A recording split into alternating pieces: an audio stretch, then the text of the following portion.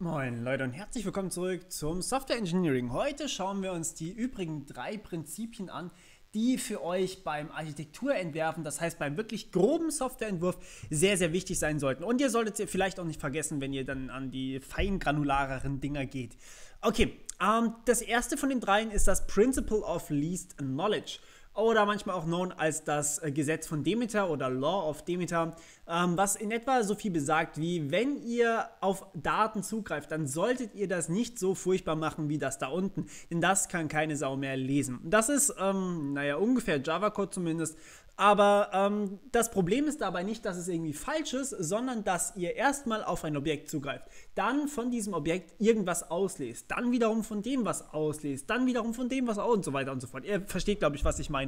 Man sollte sich möglichst auf eine Ebene beschränken. Das heißt, wenn ihr Sachen in eurer Klasse gespeichert habt, dann dürft ihr die verwenden, also irgendwelche Parameter oder sowas, die ihr bei euch in der Klasse gespeichert habt, die könnt ihr gerne verwenden. Alles andere, also das heißt Parameter von Parametern schon, ist eigentlich schon nicht mehr so gerne gesehen. Das heißt, this.data, okay, kein Problem. This.data, irgendeine Methode geht gerade noch so, aber dann hört es auch schon auf. Also das heißt, this.data, Class wäre noch in Ordnung, aber get third class definitiv nicht mehr. Ja, ähm, und selbst Get Other Class sollte man möglichst vermeiden und in eine eigene Methode kapseln. So lauten zumindest die Regeln. Mir ist klar, dass man das nicht immer berücksichtigen kann und auch nicht immer machen möchte, weil man auch faul ist. Ich bin selber ein fauler Mensch. Aber ähm, ja, trotzdem sollte man möglichst in die Richtung zumindest arbeiten. Gut.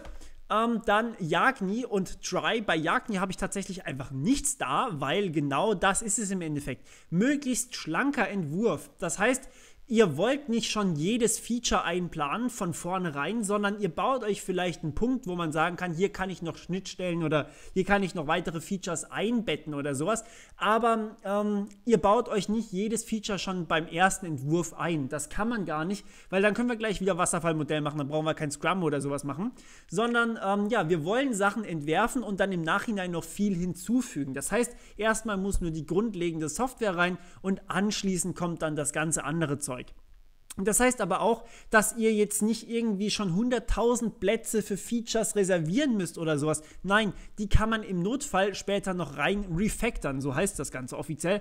Das heißt, man verändert den Code so weit, dass es einigermaßen noch Feature reinpasst sozusagen und ähm, ja, dann baut man eben dort das Feature ein. Das besagt Jagni äh, oder ja, you ain't gonna need it ähm, weil man eben sagt, man braucht so früh noch nicht an alle Features zu denken und bis man dann wirklich so weit ist, dass das Feature rauskommen soll, bis dorthin hat man die Software eh so weit verändert, dass es überhaupt nicht mehr so möglich ist, wie man sich das überle überlegt hatte. Ähm, deswegen hier überhaupt nichts dazu aufgemalt, weil natürlich möglichst äh, schlank kreieren. Okay, und das letzte Feature, das nennt sich Dry oder Don't Repeat Yourself. Ähm, das kennt ihr vielleicht, wenn ihr selber irgendwie programmiert. Da kommt es mal hin und wieder vor, dass man irgendwo sich erwischt, Copy-Paste zu benutzen. Sobald man Copy-Paste beim Coden benutzt, sollte da eine Alarmglocke angehen und ihr solltet von links und rechts eine Schelle bekommen, denn man sollte niemals Copy-Pasten müssen. Alles, was gecopy-pastet wird, muss in eine eigene Methode ausgelagert werden. Das ist ganz, ganz wichtig und das gilt natürlich auch für die Architektur. Wenn ein Modul dasselbe macht wie das andere, genau, dann habt ihr natürlich eigentlich nur ein Modul und ähm, ja, ihr dürft nicht copy-pasten. Das ist die Grundregel und so bleibt es natürlich auch. Okay, das waren die drei letzten Prinzipien. Jetzt sind wir fit für die Architekturstile, die ich euch in den folgenden paar Videos um die Ohren hämmern werde. Ich hoffe, es hat euch soweit gefallen und ja, wir hören uns beim nächsten Mal wie immer. Bis dann, ciao.